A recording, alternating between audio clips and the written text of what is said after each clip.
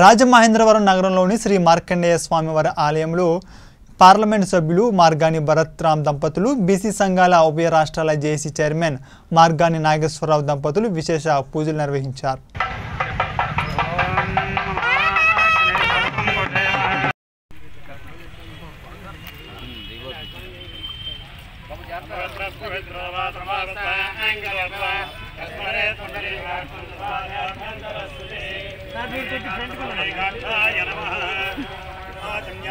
अवाय स्वाहा गोविन्दाय नमः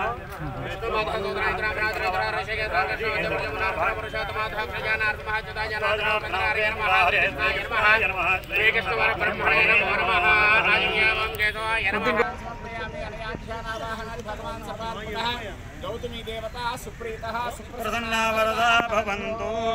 गौतमी देवता वेदोक्तदिव्यसुवर्णा मात्रपुष्पं पुनर्पयामि यस्य स्मृत्या जनावोचनमपूया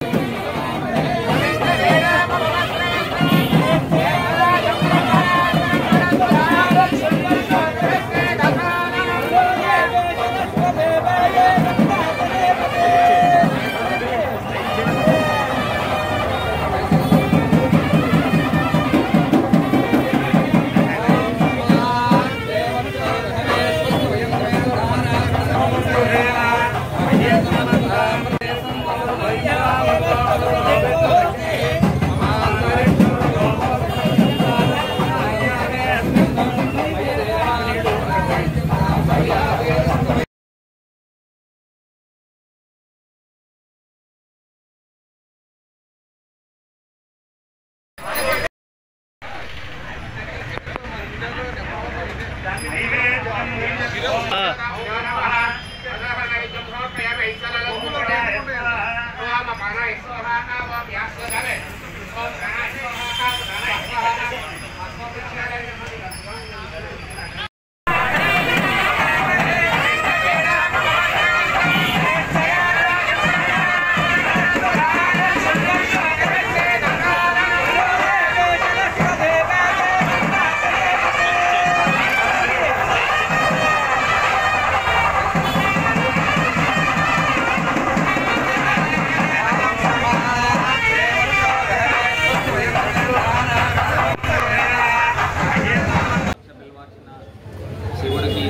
కార్యక్రమం పెద్ద ఎత్తున ప్రతి మాస శివరాత్రి రోజున ఇక్కడ రాజమహేంద్రవరం ఉమా మార్కండేశ్వర స్వామి దేవాలయంలో ఈ ఎన్నో సంవత్సరాల నుంచి దగ్గర దగ్గరగా పాతిక ముప్పై సంవత్సరాల నుంచి నలభై ఏళ్ళ నుంచి ప్రతి నెల అమావాస్య ముందు రోజున ఈ కార్యక్రమాన్ని చేపట్టడం జరుగుతుంది.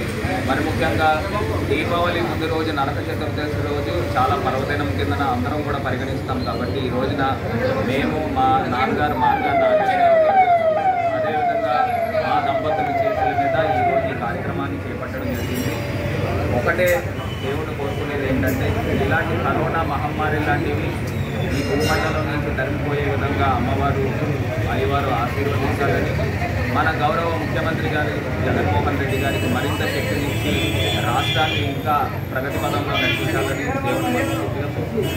దేవుడు అదే మనం చూసాము రాష్ట్రంలో ఏ రకంగా సంక్షేమ రాజ్యం జరుగుతుంది. పడుగు బలహీన వర్గాలకి పెద్దపీట వేస్తూ గౌరవ ముఖ్యమంత్రి గారు ఏ రకంగా పరిపాలన అందిస్తున్నారు? మనం చూసినట్టయితే ముఖ్యమంత్రి గారికి ఇచ్చే పరిపాలన ఈ యొక్క బద్వేల్ ఎలక్షన్ మనకి క్లియర్ కట్గా చూపించడం జరిగింది. సుమారుగా తొంభై వేల ఐదు వందలు మెజారిటీ అని అంటే నిజంగా ప్రతిపక్షము అసలు ఉందా లేదా అనే రీతిలో ప్రజలు పట్టం కట్టారు. అంటే ఒకటే అంశం చెప్పేది ఏంటంటే చంద్రబాబు నాయుడు గారు పోటీ చేస్తే డిపాజిట్లు రావని మరి ఆయన పోటీ కూడా చేయడం తప్పుకున్నాడు తప్పుకోవడం కూడా జరిగింది.